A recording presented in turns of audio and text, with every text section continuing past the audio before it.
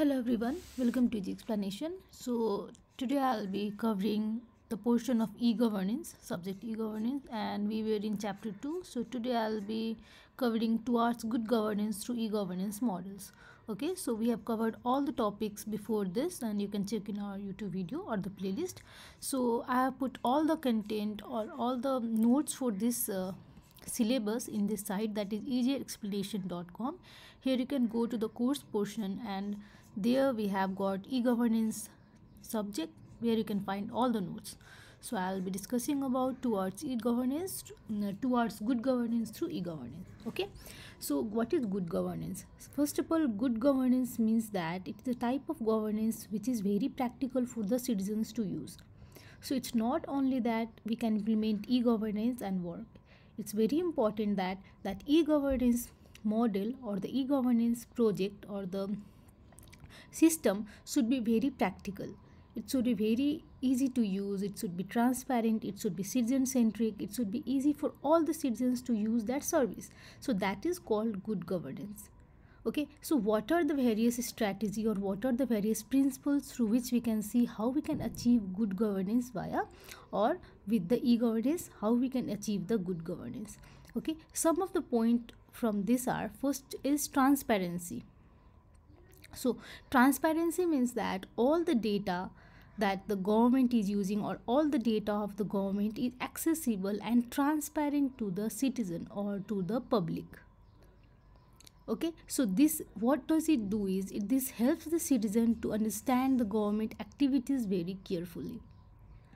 Second one is efficiency and streamline process. Okay? So in order to implement e-governance we should automate all the processes that is the administrative processes. For example if you go to any office they are using pen and paper or pen and register.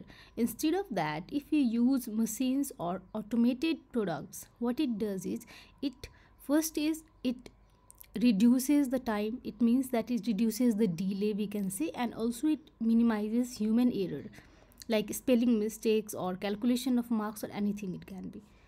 Third point is citizen centric service.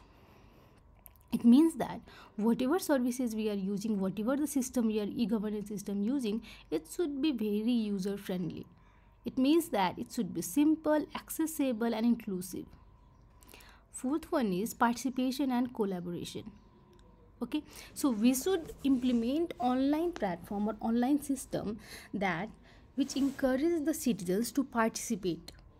Okay so for that we should include public opinion or citizens opinion and also we should include this type of systems in various projects.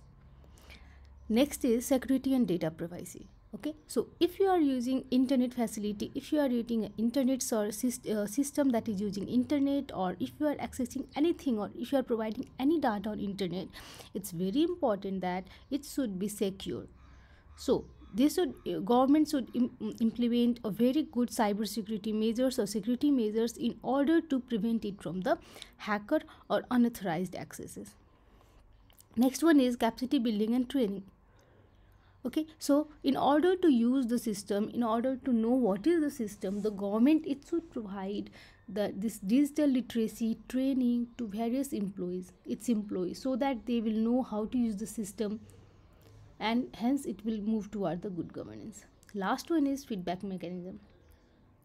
Okay so there should be a proper feedback mechanism from the citizen so that government will know that whether their citizen are using the system properly or not what are the various improvement that need to be done.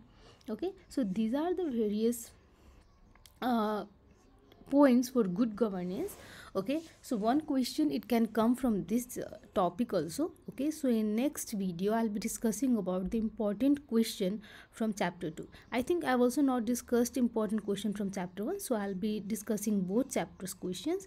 Uh, till then stay safe and thank you